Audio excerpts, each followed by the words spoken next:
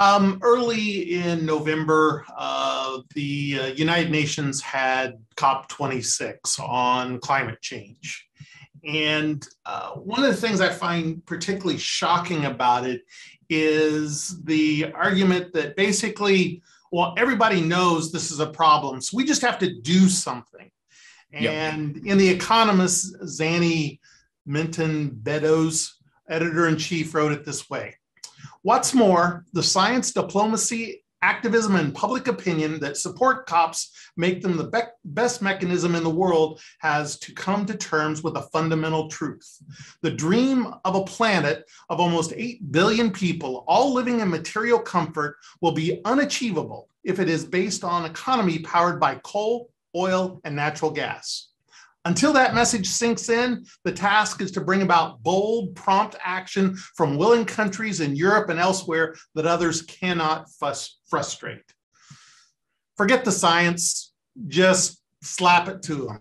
You know, I, I just, I'm shocked that, that they're convinced, even without evidence, that we have to go, I don't know, uh, it's not it, quite right to say back to It makes no sense that intelligent people, as as I think the economist uh, writers are, it, it, it makes no sense that intelligent people like that uh, uh, can't see the the complete. Put aside again, put aside the science. Even if you agree with their science, can't see the unbelievable fallacy um, that is involved here.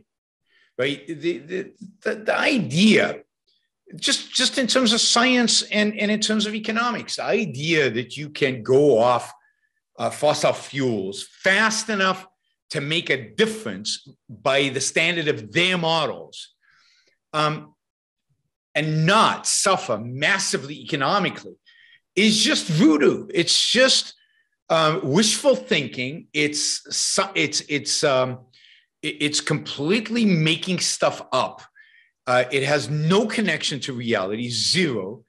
It, it, it's just not tenable. You know, if you look at the Great Britain right now, they exactly. are going to struggle uh, to to to warm the cities in winter this year, and prices are going to go through the roof. And, and they've got real problems, and they're becoming going to become more and more dependent on the Russians and all of that, all the bad stuff. And yet they're sitting there at the Economist magazine and saying, no, we're still using too much fossil fuel.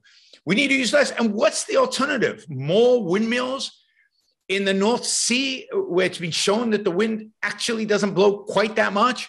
More uh, uh, solar panels in one of the places on Earth that is most cloudy.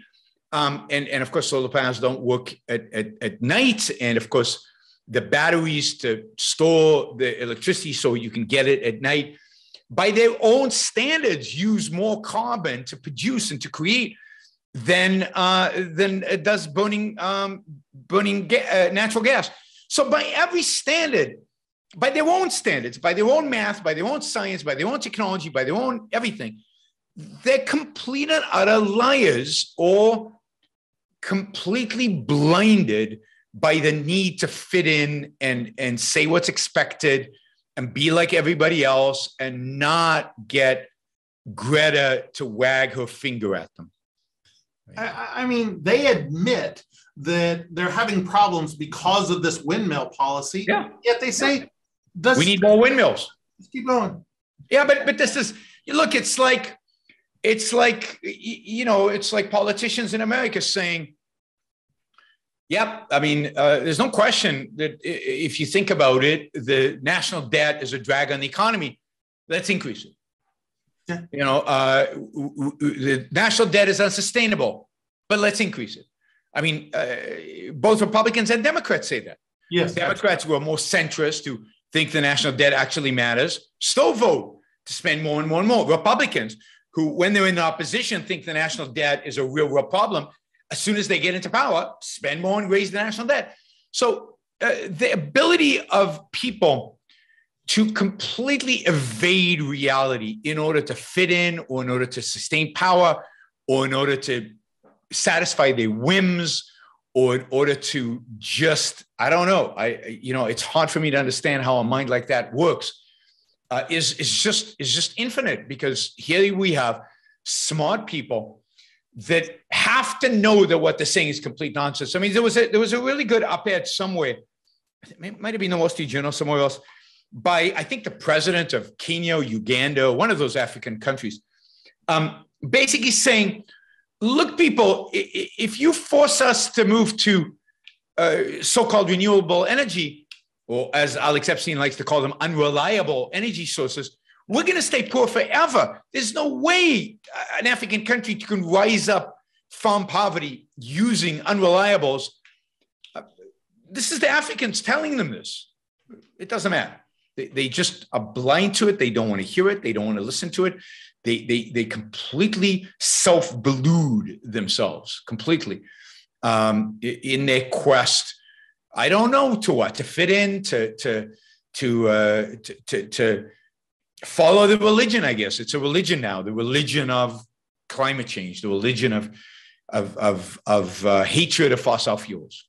And there must be voters within the UK who hate what's going on, yep. but everyone supports that policy. So what do you do? I mean, it's not like you vote for the guy that says, "Hey, tear the windmills down and let's no. uh, let's bring in all the coal, clean I mean, coal we can." I think Brits were surprised that Boris Johnson was as far left as he was on these issues, and and his whole party voted with him. So um, these are the conservatives who are bringing about the death of energy in the in the UK. Eh, the UK is becoming a net importer of energy from France because the French, of all people, have the common sense, the decency to have to use nuclear power, exactly. uh, and they have they have a, a surplus, and and therefore uh, they can export electricity to the UK, but it's not particularly efficient under the channel to export electricity. But that's actually what they're doing. So it, it's just it's just bizarre. The Germans doubling up on so so they shut down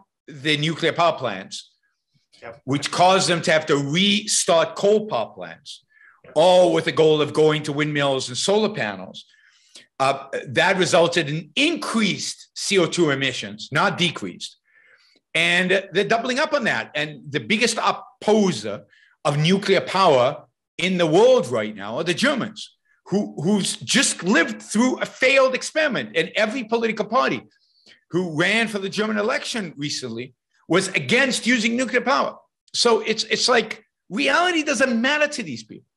It has no standing in their mind.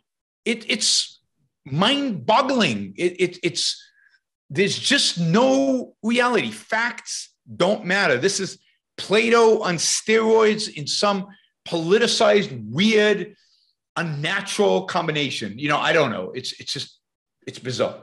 I, I cannot really cannot explain it. I, I, I, agree with you completely. All I can say is I know he may not have a lot new to say. Bring Alex back again. It's yep. a message yep. that just isn't out there very much. Other than, no, than him.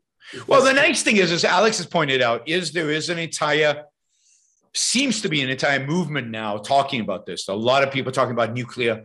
There are a lot of new authors talking about um, the, the impossibility of of, of going uh, uh, of getting rid of fossil fuels. So there are more authors that have picked up on the themes that Alex is proposing.